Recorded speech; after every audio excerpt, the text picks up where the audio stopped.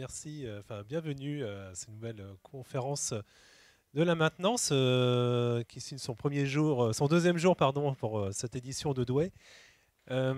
Aujourd'hui, alors on a eu malheureusement un petit changement de programme. Vous allez me dire, ça commence bien avec la neige. Bon. on devait avoir un retour d'expérience chez Bosch Rexroth de l'usine de Rodez, ce qu'on a eu d'ailleurs au CPM Avignon en septembre dernier. Euh, malheureusement, donc Grégory Brouillet, euh, de la personne de Rodez, n'est pas là, il est en Inde. Il est en Inde actuellement. Euh, néanmoins, on a remplacé par Nicolas Dequesne, donc responsable d'activité de service chez Bosch Rexroth, qui lui va nous parler quand même, on va rester dans le domaine de l'industrie 4.0, de la maintenance prédictive. Alors, certains disent prévisionnel, d'autres prédictive. On est apparemment on va être beaucoup plus dans la prédiction. Nicolas va nous expliquer tout ça. Euh, et euh, évidemment, je pense avec l'expérience euh, terrain que vous avez, je pense qu'on pourra, dans les questions notamment, voir s'il y a des, choses à mettre en place très pratiques. Et en tout cas, là, on va se pencher sur les, sur les différentes approches de la maintenance connectée et prédictive, différentes approches que vous menez auprès de vos utilisateurs. Je vous laisse donc la parole. Merci beaucoup. Bonjour. Donc euh, Nicolas Dequesne, je suis responsable d'activité service chez Rexroth et je suis chez euh, Bosch Rexroth depuis à peu près une vingtaine d'années et 15 ans en fait dans les activités services. Donc euh, bon, je pense que je peux vous, vous, amener en fait un certain nombre d'éléments de réflexion sur l'industrie 4.0 et la maintenance prédictive. Donc un petit, juste un tout petit tour d'horizon en fait de Bosch et où se situe Rexroth. Donc Bosch c'est quand même 400 000 collaborateurs c'est 280 sites de production. C'est très important, ça veut dire qu'il y a un user experience très très important chez Bosch, notamment pour tout ce que propose euh, Rexroth en termes de composants, mais également en termes d'approche maintenance, par exemple. Euh, vous connaissez Bosch essentiellement pour la partie automobile, hein, donc ça représente 61% des activités. Il y a quand même une activité aussi très importante qui est la partie industrie, hein, qui représente aussi une grosse part, 8% hein, des activités. C'est là-dedans que se situe Rexroth. Vous avez évidemment les biens de consommation, tout le monde connaît, tout l'outillage électroportatif, l'électroménager et tout. Et vous avez aussi une partie en fait euh, énergie et bâtiment. Euh, vous avez notamment en fait tout ce qui est euh, chaudière, Boudet Rousse, OLM Legrand, en fait un petit peu tout ça. Donc voilà, c'est juste pour situer Rexroth au sein du groupe Bosch, parce que le groupe Bosch est connu, mais essentiellement pour la partie automobile. Si on vient à l'industrie 4.0 et la maintenance prédictive, qui est le, sujet, donc l'industrie 4.0, un petit rappel, hein, on a l'industrie 1.0, c'est la mécanisation, l'industrie 2.0 qui est un petit peu plus l'électrification, l'industrie 3.0, on commence à aller dans le digital, et l'industrie 4.0, on rentre en fait euh, dans l'internet des données hein, et on remonte en fait des données. Hein. donc euh, c'est réellement en fait des remontées de données euh, qui vont permettre de faire énormément de choses, le tout connecté. Qu'est-ce qui caractérise l'industrie 4.0 euh, Si on regarde ce qui caractérise, c'est essentiellement la connectivité, connectivité verticale, horizontale. C'est la disponibilité des informations. Hein, maintenant, on peut récupérer des, données. il suffit d'avoir une adresse IP et puis après, on peut communiquer avec n'importe quoi. Hein, évidemment, en fait, euh, les services qui sont basés sur les données, et on va en parler après, sur l'analyse des, données, toute la partie en fait auto-apprentissage, hein, ça c'est un point important. C'est clair que sur des approches de maintenance prédictive, euh, il y a l'approche, euh, analyse statistique, mais il y a également en fait la possibilité d'utiliser des algorithmes d'apprentissage machine et donc faire de l'auto-apprentissage et évidemment en fait euh, l'interaction, euh, euh, le tout connecté. La vision de Bosch, après j'en arrêterai avec Bosch, mais je vous en parle juste, c'est que tout produit Bosch à l'horizon 2020 devra être connectable. Tout produit Bosch, aussi bien dans la partie automobile que dans la partie bâtiment, que dans la partie industrie, que dans la partie énergie. Tout devra être connecté. C'est la vision de Bosch. Et donc, euh, une des stratégies du groupe Bosch, c'est la stratégie 3S, hein, basée sur les capteurs. bien se dire que Bosch est un très très grand producteur de capteurs pour toute la partie automobile. Donc il y a une énorme expérience en fait sur la partie capteur et cette expérience elle bénéficie également à Rexroth dans des approches maintenance. Donc 3S, euh, hein, euh, capteur, soft, évidemment, le soft, hein, pour analyser les données et puis visualiser un certain nombre de choses, faire du monitoring de données. Et puis toute la partie service.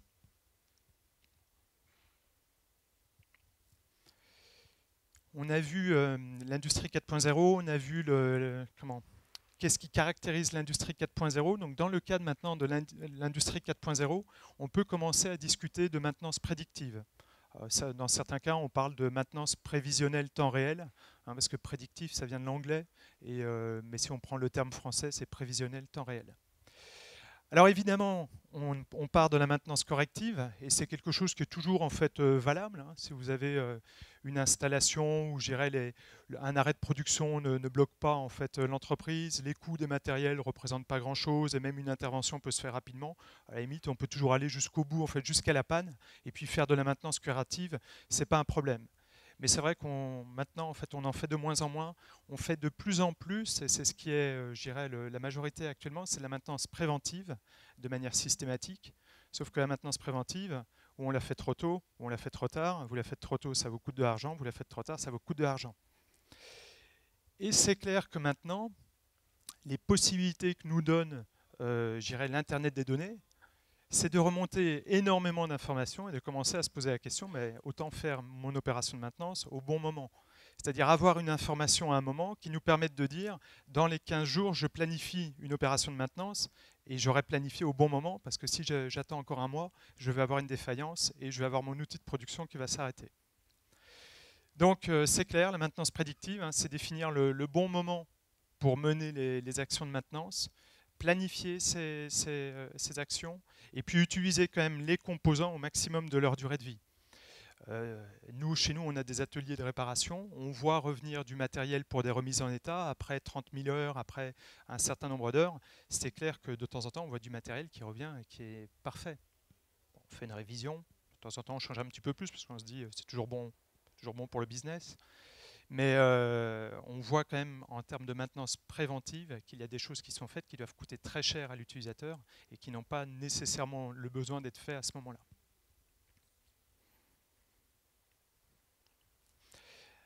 Petit, petit encart, dans, un journal qui s'appelle Les Échos, à un moment, il y a une, une étude qui a été menée et qui donne comme, euh, comme conclusion que la maintenance prédictive euh, permettra de réduire les coûts de maintenance de 10 à 40% Alors euh, l'échelle est grande, hein, mais bon, ça permettra de réduire quand même fortement les coûts de maintenance. Ça permettra de réduire le nombre de pannes de moitié et ça permettra euh, surtout d'augmenter la durée de vie des machines. Et donc du coup, en fait, ça permettra de diminuer éventuellement des investissements sur des nouvelles machines. Il y a quelque chose qui est important sur la maintenance prédictive, c'est que se dire que la maintenance prédictive ou euh, la connectivité n'est valable que sur des nouvelles installations, c'est faux. On peut évidemment, en fait, sur des installations existantes, instrumenter son installation et accéder, entre guillemets, à la maintenance prédictive. Le principal, l'essentiel, c'est remonter des données.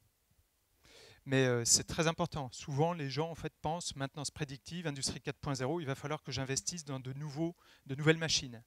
C'est faux, c'est archi faux. On peut déjà faire du rétrofit d'installation en rajoutant en fait, un certain nombre de capteurs pour remonter des données. Deux points essentiels également. Hein, je pense que, alors moi je ne suis pas, euh, un expert là-dedans, mais je pense que euh, les utilisateurs évidemment ont un œil rivé sur le TRS, hein, taux de rendement euh, synthétique. Et l'intérêt en fait de la maintenance prédictive, c'est de faire remonter ce, TRS pour arriver au plus proche du taux de rendement théorique qui est celui qui est établi quand la machine en fait euh, fonctionne, euh, pleine capacité, en intégrant éventuellement les temps de maintenance que l'on fait quand même, parce qu'il y a quand même un minimum de, maintenance de premier niveau à faire.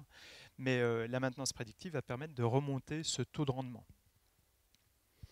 Et comme je vous l'ai dit, avant de penser au renouvellement d'un parc de nouvelles machines, on peut penser réellement au rétrofit d'une installation. Alors, sur les installations, bah, maintenant, on peut remonter toutes les données. Toutes les données, qu'elles soient, que ce soit des données mécaniques, que ce soit des données pneumatiques, électriques, hydrauliques. On peut remonter en fait énormément d'informations, aussi bien sur une machine neuve qu'une machine rénovée. Euh, et on pourrait même, en fait, dans l'analyse prédictive, remonter en fait, des informations sur une dérive de qualité du produit. Rien ne l'empêcherait. C'est-à-dire que rien ne vous. Euh, toutes vos données machines, tout va bien, mais vous avez une dérive sur la qualité du produit. C'est qu'il y a quand même quelque chose qui se passe. Donc ça mérite en fait à un moment d'être intégré. On n'en est pas là. Hein. pour l'instant, on est sur les données de l'installation, mais on pourrait intégrer aussi des, euh, des données liées à la dérive de la qualité d'un produit. Donc, comme je vous disais, euh, sur la maintenance prédictive, l'industrie 4.0, la clé, c'est la donnée. C'est la donnée donc, euh, sur une, machine. Après, l'objectif, c'est vrai qu'à terme, en fait, c'est d'avoir le maximum de machines connectées. Et évidemment, ces données, il faut les remonter. Il faut les remonter sur l'Internet des données. Et donc, le, facilitateur, c'est la passerelle. Hein, c'est ce qu'on appelle l'IoT. Hein. donc, par exemple, c'est vrai que dans l'offre Rexrot, on a une passerelle IoT Gateway qui est proposée, qui euh, communique avec n'importe quel euh, capteur, hein, tous les, protocoles de, communication existants, et donc qui permet de remonter ces données pour après qu'elles soient exploitées suivant des approches qui peuvent être différentes. Donc là, on parle de trois types d'approches. C'est une présentation. Hein. Il y a l'approche qu'on va dire do it myself, qui est euh, j'ai remonté la donnée, je suis à même moi-même en fait de l'exploiter et de faire un monitoring des données j'ai les équipes qui permettent de le faire, j'ai ce qu'il faut. Après, il y a une deuxième approche qui est de dire bah, do it with me. Il y a peut-être en fait sur le marché un certain nombre de softs qui existent et qui permettent en fait de monitorer les données et qui me permettent de, donner, de récupérer des informations sur euh, quelque part l'état de santé, on peut dire ça, de ma machine. Et la troisième approche, qui est une approche euh, vers lesquelles, euh, sur laquelle notamment Rexrot en fait travaille, qui est de dire mais on peut aussi le faire pour l'utilisateur, c'est-à-dire qu'on récupère la donnée, on la traite et on informe l'utilisateur d'une défaillance à venir. Et on peut éventuellement envisager de définir un certain nombre d'actions de service qui seraient menées dès qu'on détecte une anomalie en fait, sur le système. Donc c'est trois types d'approches euh, pour faire de la maintenance prédictive. J'insiste beaucoup, évidemment, l'essentiel c'est la donnée la donnée, la donnée. Donc euh, il faut en fait euh, instrumenter son installation. Alors après, l'idée n'est pas de tout instrumenter. Hein. Il, y a, des données qui ne sont pas nécessaires, il y a des données qui sont vraiment en fait euh, importantes. Après, de remonter ces données via une passerelle. Alors après, les passerelles, c'est une base hardware avec parfois un peu de soft, et vous pouvez peut-être déjà visualiser en fait un certain nombre de données. Et après, vous pouvez avoir, ça c'est un exemple, c'est une usine Bosch à une usine Bosch qui a bien installé en fait une passerelle, qui a instrumenté son installation, mais qui a des informaticiens qui ont développé eux-mêmes un soft pour monitorer et suivre en fait euh, les données de leur application. C'est ce qu'on va dire euh, une approche, je dirais, je suis capable de le faire moi-même. Après, il y a une autre approche qui est de, bah, prendre un soft qui existe sur le marché.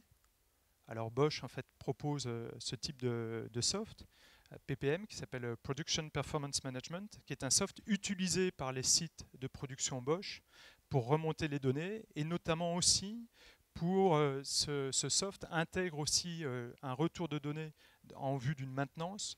Alors pour l'instant beaucoup plus basé sur une analyse statistique des données, mais à terme pourrait aussi intégrer des algorithmes d'apprentissage machine. Mais bon, c'est une autre approche. Et la dernière approche, qui est une approche qu'on va appeler do it for me, qui est de dire bah, la donnée, en fait, le constructeur la, récupère. Hein, toujours, on a toujours l'instrumentation, on a toujours la passerelle, sauf que la donnée en fait est remontée sur un cloud, sur lequel on peut en fait faire de l'analyse statistique ou éventuellement utiliser des algorithmes. Donc c'est ce que je vais vous montrer en fait euh, derrière. Donc euh, Rexrot a développé en fait euh, un système qu'on appelle Odin, Online Diagnostic Network qui permet en fait de modéliser une installation et de donner un certain nombre d'informations, un certain nombre de warnings en fait qui permettent de déclencher des, actions de maintenance. Sur la récupération de la donnée, vous voyez en fait, euh, euh, on vous disait en, introduction que ce n'est pas un user experience de Rodez parce que la personne n'est pas là. Mais euh, les quelques exemples sont des exemples en fait, qui sont utilisés sur un site de production, donc dans, euh, à Rodez, un site de production Bosch. Donc là, sur le site de production en fait, de Rodez, il récupère via une passerelle bah, tout un, tas de données, vous voyez, des, informations de température, pression, de vibration, et puis toutes des informations, toutes des données que l'on peut avoir via différents contrôleurs. Et toutes ces informations arrivent sur des, protocoles, via des protocoles de communication différents. Et donc la passerelle, il faut évidemment choisir la bonne passerelle, permet de traiter ces données et de les mettre accessibles sur un serveur, sur un cloud, sur lequel euh, on pourra en fait euh, bah, développer un soft de, de traitement de la donnée.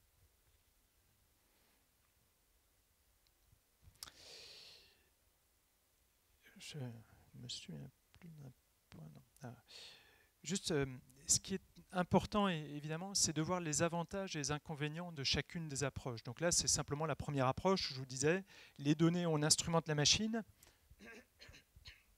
On instrumente la machine, on remonte les données via une passerelle. Pardon. Et, euh, et, après, comment l'utilisateur a des équipes qui, peuvent développer en fait un soft pour monitorer les données. Euh, évidemment, l'avantage, c'est je ne dépends pas d'un fournisseur. Je fais un petit peu ce que je veux quand je veux. Par contre, l'inconvénient, c'est qu'il faut des ressources. Il faut des gens compétents pour pouvoir développer ce type de, système de monitoring. Donc, euh, et surtout aussi l'entretenir. Parce qu'on peut développer quelque chose, hein, mais après, il faut entretenir en fait, ce type de, de, produits. Une deuxième approche, donc, euh, où je vous disais qu'il existe sur le marché un certain nombre de softs, et par exemple Bosch en fait, propose un, soft qui s'appelle PPM, hein, euh, Production Performance Management. Euh, l'intérêt, c'est que en fait, j'achète un soft. À la limite, j'achète les mises à jour en fait, de ce soft, mais je, traite, je, je récupère les données et je les traite complètement par moi-même. Donc ça, ça, a aussi un intérêt, c'est une approche en fait qui est intéressante. Et la dernière approche, qui est une approche en fait où le fournisseur peut apporter encore plus à l'utilisateur, c'est de dire bah, les, toutes les données que je récupère via des capteurs de données, des contrôleurs existants, un certain nombre de choses que je remonte sur un cloud via en fait une passerelle type IoT, euh, et ben celles-là, je vais les utiliser, je vais les traiter via des algorithmes d'apprentissage. je vous montrerai derrière. L'idée étant de modéliser en fait l'installation de manière à avoir un modèle de référence et après comparer en temps réel les données qui arrivent par rapport au modèle de référence. S'il y a une déviation, c'est qu'à un moment, il y a une des données qui pose problème. Après, c'est clair qu'il faut aller dans le, détail de la donnée qui est à l'origine de la déviation et qu'il faut bien définir euh, l'opération de maintenance à mener pour euh, se remettre en fait sur un état euh, normal. Donc vous pouvez en fait avoir euh, sur un, sur un, cloud par exemple ce type de système et après remonter des informations disponibles en fait euh, pour le client sur un portail, sur une tablette, sur un smartphone avec un état de santé, un bilan général, mais permettant aussi d'aller dans le détail en fait des données. Et après, évidemment, il peut y avoir un certain nombre en fait, de contrats de service qui sont établis en partenariat entre le fournisseur et l'utilisateur pour, à la limite, prendre la main dès qu'on voit en fait une donnée qui, est en train de dévier, ben, d'engager une, action de maintenance parce que ça a été contractualisé avec l'utilisateur. Je reviens sur la maintenance prédictive basée sur des algorithmes d'apprentissage. Donc on a forcément un certain nombre de données. Et comme je le disais, évidemment, euh, sur base d'un...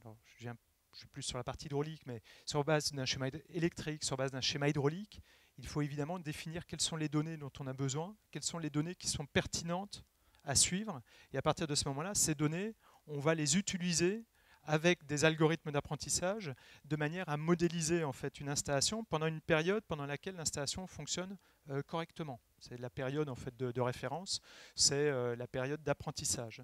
Donc pendant la période d'apprentissage, sur base en fait, on modélise et petit à petit en fait toutes les données euh, reviennent et par tâtonnement ou par étapes successives, on finalise en fait un modèle de référence il est finalisé. Quand toutes les données pendant une période d'apprentissage correspondent au modèle, eh ben, on peut considérer que le modèle est établi. Et ce modèle-là, bah, vous le faites pour euh, un type de production, mais vous pouvez le faire pour euh, tout un tas de types de production. Évidemment, si vous changez de production sans arrêt, sans arrêt, sans arrêt, à un moment, la, librairie de modèles va être telle que vous ne saurez même plus quel modèle en fait, vous devez comparer quand vous êtes sur une, phase de production. Et après, dès que vous avez un point de départ, après une période d'apprentissage, bah, vous pouvez traiter les, données en temps réel, reconstruire un modèle en fait tel que vous l'avez fait avec l'algorithme que vous avez sélectionné, et comparer ce modèle par rapport au modèle de référence et voir si vous avez une anomalie. Et derrière cette anomalie, ce qui est évidemment important, c'est qu'il reste quand même, euh, une expertise par des gens qui connaissent en fait ce type d'application, ce type de technologie, ce type de composants, pour pouvoir en fait bien définir l'action de maintenance à réaliser. C'est-à-dire que ce genre, les, analyses statistiques, les analyses, euh, les dirais les modélisations et tout, c'est bien, mais derrière il reste quand même toujours en fait un rôle d'expert et ça il ne faut pas l'oublier. Hein. et je pense que sur le marché, il y a peu de solutions en fait euh, qui permettent d'avoir une information qui vous identifie directement, exactement le composant qui est en train de, s'envoyer en l'air et qui risque en fait de, provoquer un arrêt machine. Donc juste pour terminer sur, euh, sur l'offre Rexrot, hein, sur cette partie Odin, ben après ça donne en fait une, une possibilité en fait d'avoir accès ben, sur un smartphone, sur une tablette, sur un portail à un certain nombre d'informations. Alors, euh, j'ai un lien en live, mais vu que la 4G et le Wi-Fi marchent pas très bien, je n'ai pas pris le risque en fait, de, me connecter. Après, vous me direz, c'est un problème propre à ici. mais bon, euh, donc je vais pas pouvoir vous en dire plus là-dessus. Donc après, simplement en, termes de, conclusion, c'est que la stratégie de maintenance, c'est le choix évidemment de l'utilisateur. Hein, donc, euh, et euh, l'utilisateur peut en fait réfléchir à quel, comment en fait il perçoit la maintenance et comment il envisage en fait la maintenance en fait de ces, installations. Hein. et il faut bien se dire quand même que dans, dans le futur, je pense qu'un utilisateur ne va plus acheter de machines, il va plus contractualiser un certain nombre de choses. Il va acheter un service, il va acheter une production, et puis derrière, bah, il faudra en fait qu'on mette en place les installations, le suivi, le monitoring, la maintenance prédictive pour assurer en fait un service, une, production avec un taux de rendement euh, tel que l'utilisateur l'attend. Voilà ce que je pouvais vous donner comme euh, vision un petit peu générale de l'industrie 4.0 et maintenance prédictive. C'est évident que si vous êtes intéressé, on peut en reparler un petit peu plus longuement après, ou si vous avez des questions, je suis à votre disposition. Très bien, merci beaucoup. Merci, euh, merci beaucoup. Euh, avant de lancer euh, quelques questions, alors c'est vrai que comme initialement on était parti sur un retour d'expérience, est-ce que vous avez, vous, de, votre côté, chez certains utilisateurs, peut-être un exemple en tête de, d'une problématique particulière? On parlait notamment du, de, machines assez anciennes. Hein. On, on, sait que vous avez très bien dit qu'il est pas forcément nécessaire d'investir dans des nouvelles machines pour faire du 4.0. Est-ce que vous avez, je ne sais pas, peut-être un, euh, petit retour d'expérience à, nous livrer par rapport à, une entreprise qui avait un parc machine un peu, un peu vieillissant, on va dire? Comme c'est souvent le cas euh, en France notamment.